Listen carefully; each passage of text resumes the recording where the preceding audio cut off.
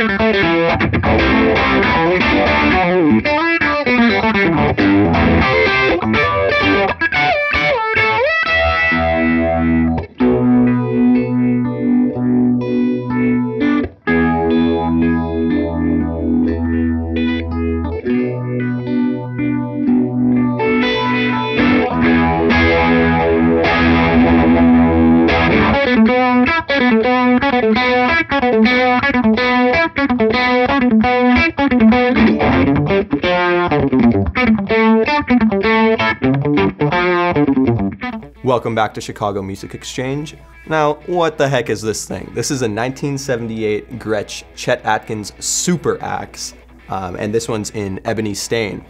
Um, it's also known as the Model 7681. This is a monster of a guitar.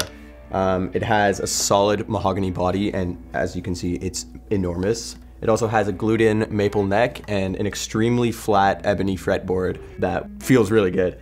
It also has two humbuckers, and the weirdest part about it is it has a built-in compressor and phaser system um, that runs on a 9 volt. And this one is fully functioning, uh, which is pretty rare for these guitars today.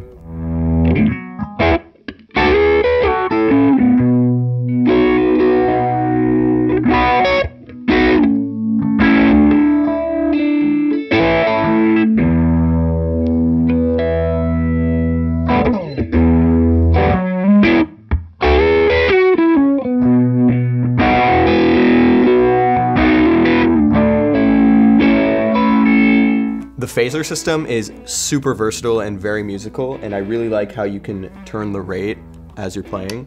Um, and the compressor adds a ton of sustain, like in a crazy amount of sustain that makes it uh, really interesting to play, and you end up playing different than how you usually play with it.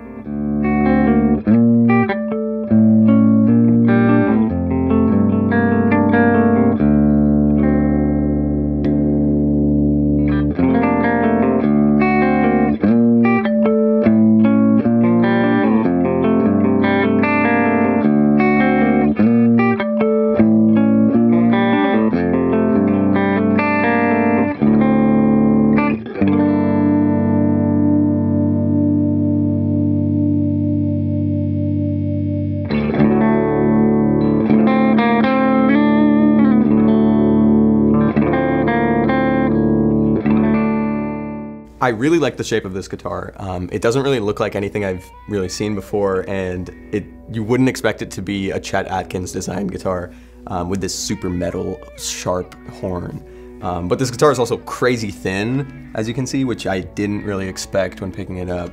So it's definitely a unique feeling guitar, but once you start playing it and you get used to it, it feels really good.